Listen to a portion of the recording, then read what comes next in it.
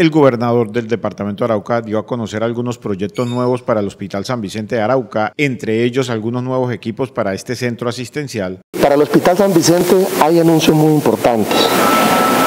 Uno, viene el tema de un apoyo para el hospital para comprar el autoclave. El autoclave es un equipo que requiere para esterilizar, ya que vamos a aperturar nuevamente cirugía programada. Viene la compra de el ascensor, ya que ANUR nos apoyó con piso, pero no tenemos acceso y pues eh, la gobernación va a tramitar el tema de la compra del ascensor.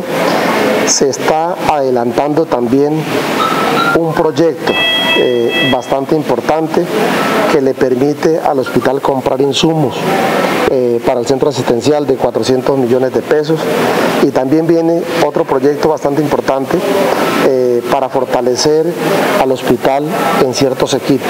El gobernador de Arauca, Facundo Castillo Cisneros, dijo que también se radicó un proyecto para la culminación de la nueva torre del hospital de Arauca. Venimos adelantando gestiones a nivel nacional. Dentro de eso, la terminación de la torre del hospital San Vicente. Ya el proyecto está listo, está por 16.400 millones de pesos.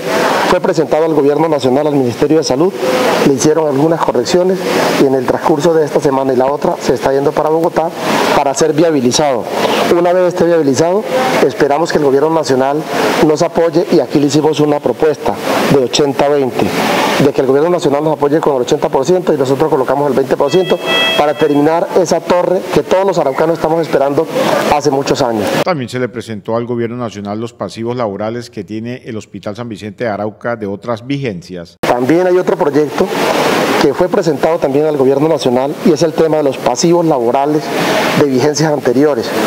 Son más de 6.700 millones de pesos que se está haciendo la gestión a nivel nacional. Esperamos obtener una respuesta muy importante, una respuesta muy positiva para que así podamos nosotros eh, pagarle o quedar al día con sueldos en el Hospital San Vicente.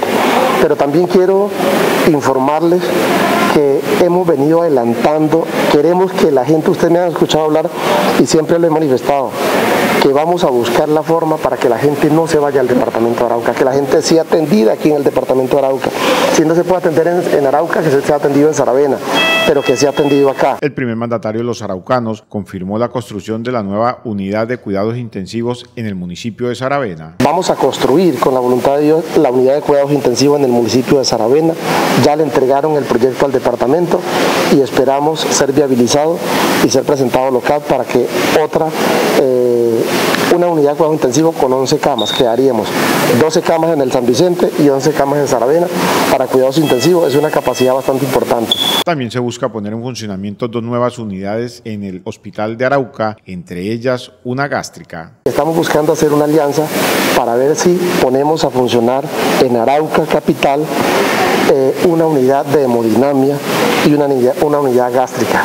Esto se los comento así debido a que hasta ahora estamos adelantando los trámites, queremos hacer una alianza público-privada, queremos que la gente sea atendida aquí en el departamento de Arauca, no es lo mismo que lo atiendan uno acá a que lo remitan para Bucaramanga, Bogotá, donde la situación financiera no es la mejor para muchos araucanos. Entonces, venimos adelantando esfuerzo por el Hospital San Vicente. Por el momento se comprará el ascensor de la nueva torre del Hospital San Vicente de Arauca para poder habilitar el piso 3.